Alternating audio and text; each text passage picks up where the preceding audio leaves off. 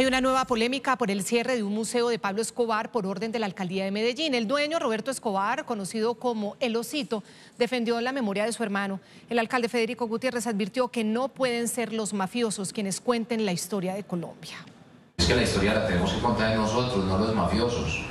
Con vehemencia, el alcalde de Medellín, Federico Gutiérrez, criticó el supuesto narcotour que se ofrecía en la casa museo que acondicionó Roberto, el hermano del extinto Pablo Escobar, para contar su historia. No venga a hacerle apología delito. La propiedad en la que vive Losito y su familia revive la polémica historia del capo. Para llegar hay que transitar por dos rieles deteriorados y atravesar dos porterías. Además conserva los lujos de la época. En el lugar la historia era contada por su familia, quien recibió una inesperada notificación.